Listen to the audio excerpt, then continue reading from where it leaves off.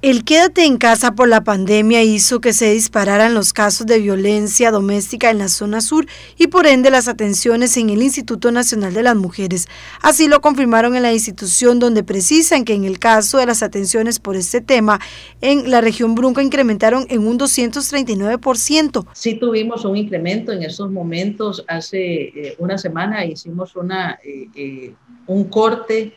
de todos los procesos que tenemos en unidad, pero en el de violencia estamos en un 239% más de lo que en otros años se había atendido. Sí ha incrementado muchísimo los casos de violencia que tenemos en la región a raíz de la pandemia, a raíz de las mujeres 24 eh, horas en sus casas, en sus hogares, muchas veces incluso con sus parejas agresoras que eh, probablemente una de las razones por las que incrementa la violencia, pues tiene que ver también con eh, la ansiedad y el estrés de estar a veces sin empleo, no tener las posibilidades de salir a buscarlo. Y eh, al estar ahí y además con sus hijos, pues las mujeres tampoco pueden salir a buscar ayuda como, como en otras ocasiones u otros años lo han logrado hacer y eso ha aumentado muchísimo, por lo menos en nuestra región hemos aumentado muchísimo la atención de casos eh, que nos han solicitado apoyo, ya sea directamente en nuestras oficinas. Cabe mencionar que el INAMO nunca ha cerrado sus oficinas desde que inició la pandemia, sí disminuimos,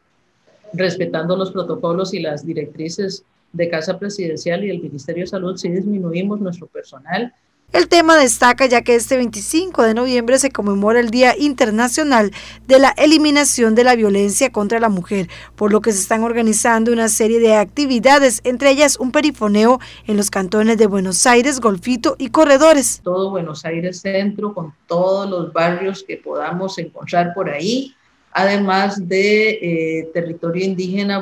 Terra y Boruca Ahí vamos a tener, eh, son seis horas contratadas para perifoneo y otras seis horas que se contrataron para lo que es golfito y corredores. Golfito, todo lo que es Golfito Centro, La Mona, que fue donde también se presentó un feminicidio hace algunos años, eh, todo lo que es Guaycará y posteriormente pasamos a zona de corredores, que es eh, Distrito Central Corredor y posteriormente la zona fronteriza Paso Canoa, San Jorge, San Martín. Esa es eh, la parte de polifoneo, que eh, es un enlace nacional. La idea es que todas las unidades regionales vamos a tener perifoneo y eh, esos son los cantones que se han escogido. Asimismo, se realizará a las 10 de la mañana un foro donde se trabaja por teams con mujeres emprendedoras y empresarias. Que han estado de una u otra forma cercanas a nuestra unidad, entonces ellas también a su vez han invitado a otras personas a participar y la temática es el tema de eh, la ley contra la violencia y también eh, la nueva ley contra el acoso callejero. También hubo otras charlas. Ya realizamos dos charlas a grupos específicos del área de eh, corredores, uno de Laurel y otro de la Cuesta en corredores, dos charlas específicas sobre la ley contra la violencia y las herramientas para hacer efectivo el derecho a una vida libre de violencia. Esas, esas ya se realizaron y eh, luego, pues sí, lo que tenemos es eh,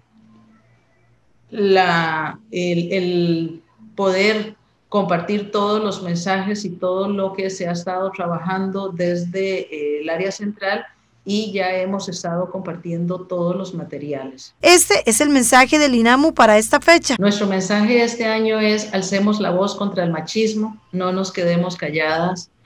ni una mujer menos víctima de violencia.